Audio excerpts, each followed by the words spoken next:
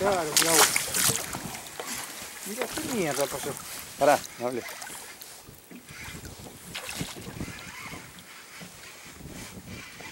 Bueno, lo vamos a agarrar con el copo porque se le enredó la tanza mala a él.